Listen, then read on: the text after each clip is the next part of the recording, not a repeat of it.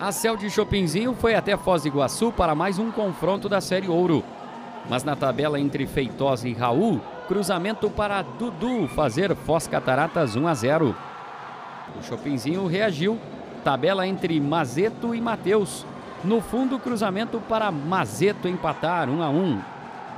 Na segunda etapa, o Foz tentou a jogada, mas só o Salles roubou a bola de Pajé e ela sobrou para Mateus virar o jogo. O Foz reclamou de falta. O lance seguiu e a Cel ficou na frente, 2 a 1.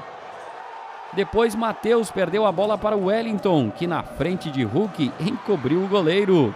Belo gol do Foz, 2 a 2. Na reta final, Matheus foi desarmado e Dudu avançou para fazer o gol da vitória do Foz. 3 a 2 no Costa Cavalcante. Na tabela, a Cel segue em primeiro do grupo A e o Foz vem em segundo.